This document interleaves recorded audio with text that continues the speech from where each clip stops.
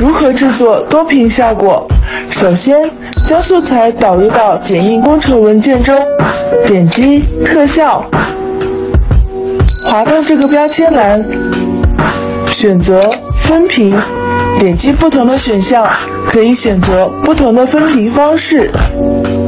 这里要注意的是，如果原本是横屏的素材，想要制作成竖屏的多屏效果，需要先把素材变为九比十六的尺寸。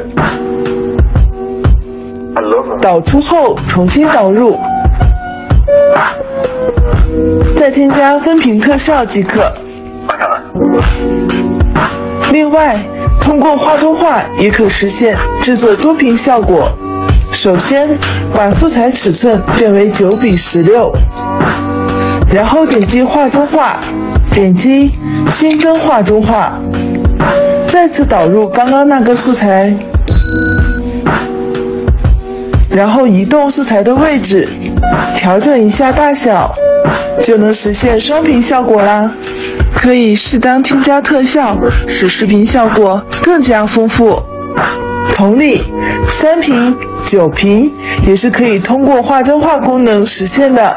下面我们来看看多屏特效的例子。